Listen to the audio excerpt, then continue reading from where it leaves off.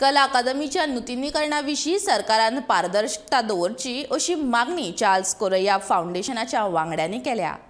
कला अकादमीचें नूतनीकरण करता म्हळ्यार पयलींच्या वास्तून नेमको कितें बदल करता तो सरकारान सांगचो अशेंय तांचें म्हणणें.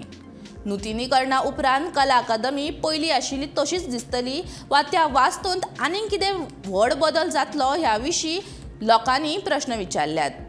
दुरुस्तीच्या नांवा खाला सरकारान कला अकादमीचें बरेंच काम केलां.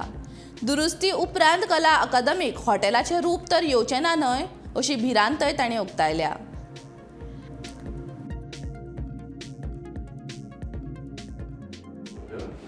This is a place which is uh, a point where all people in their respective professions have put their efforts and have created what I consider today a masterpiece. And all of you all will agree it's, it's a masterpiece by itself.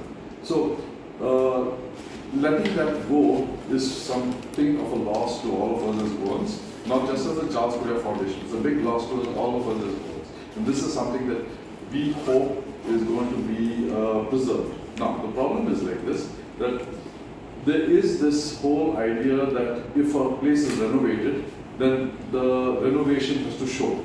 We are just saying, put it all up. We are requesting the Kala Academy and the PWD to put up the final plans for the architecture. Put it to the people of Goa. For the With, people the finishes, Yeah. not just, just plans, everything that is being done, just be transparent about it so we, everyone knows what is happening and that's, that's the problem, but it, it only really, as Arjun was saying, it came to our attention only very recently that there was, they were not following, we, we had no idea what they were doing and, and we've been told that, no, they are sort of big changes and that's what we tried to represent in those uh, renderings.